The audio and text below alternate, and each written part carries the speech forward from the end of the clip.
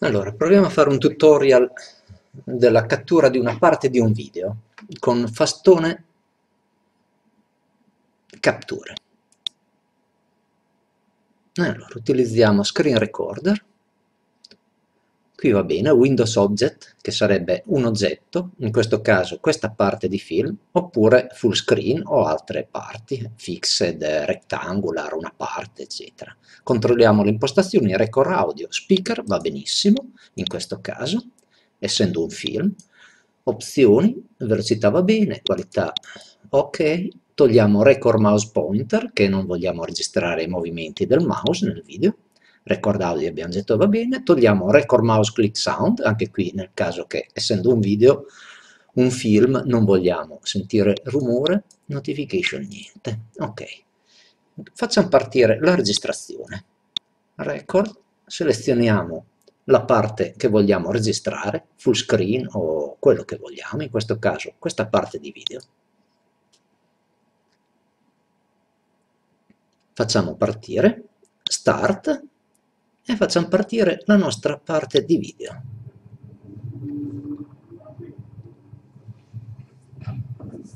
Qui si vede la barra di avanzamento del, della registrazione con la possibilità di stoppare o altro. Aspettiamo qualche secondo. Interrompiamo. C'è la possibilità anche di riesumare il video salvare o cancellare e, e ripeterlo.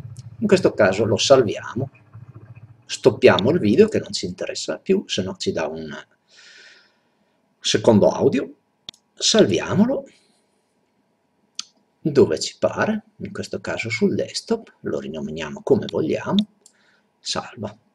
Si può eh, selezionare la, eh, la sezione originale del video oppure più piccolo quello che vogliamo ok.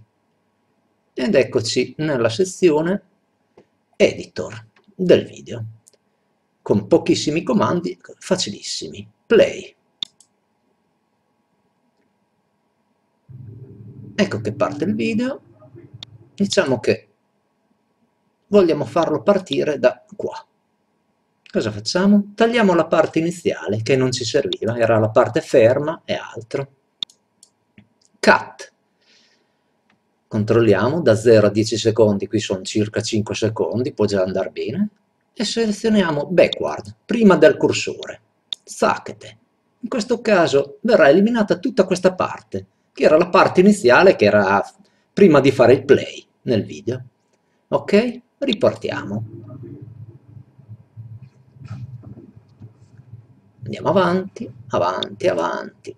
Diciamo che qua non ci interessa più, rifacciamo cut, in questo caso backward è a posto e facciamo così. E questa è la parte finale. Lo ricontrolliamo. Diciamo che c'è ancora un po' da aggiustare, si può spostare il cursore prima o dopo. Si ricontrolla, se va bene. Ok. Stessa cosa in fondo. Una volta fatto questo, salviamo il video.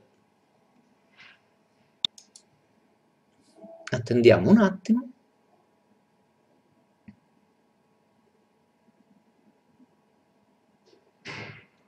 che finisca l'elaborazione, che può durare più o meno a seconda del tempo e dalla qualità che abbiamo messo, best eh, o altro.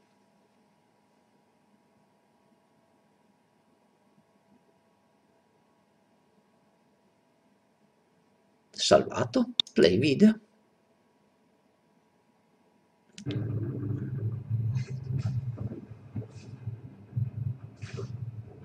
Perfetto. Fine tutorial.